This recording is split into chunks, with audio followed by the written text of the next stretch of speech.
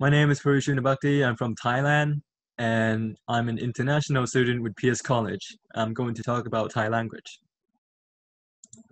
Standard Thai, also known as Central Thai or Bangkok Thai, is the official national language of Thailand. It is spoken by around 80% of the 60 million residents of the country. It is taught in all schools and is used for most television broadcasts.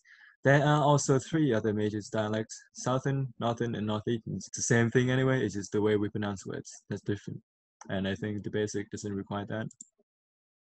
The Thai alphabet itself has 44 consonant symbols, 21 vowel symbols that combine into 32 vowel forms, and 4 tone diacritics to create characters, mostly representing syllables. So we have this over here as alphabets and vowels.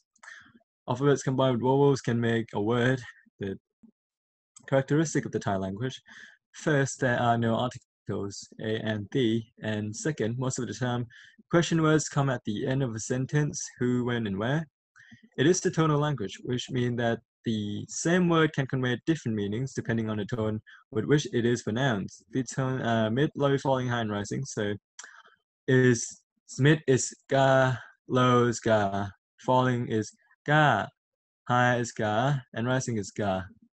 Is a little confusing to most Americans and probably everybody else, but it's what makes Thai language unique in a way. And come to dialogue, so we have two saying hello over here. It's the same meaning, but there's the meaning that's different is there's over here saying sawati krap. Krap is used for male and ka over here is used for female.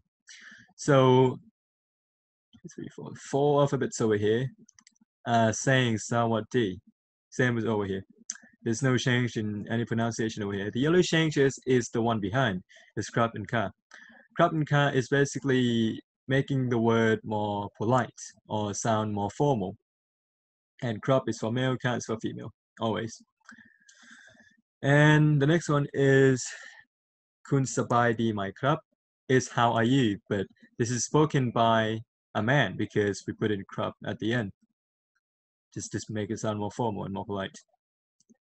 sabai สบายดีค่ะขอบคุณคุณล่ะคะ means fine, thank you, and you. Sabai ka is fine, thank you, is ขอบคุณคุณล่ะคะ is and you. And again, ka is for female, so make it more polite.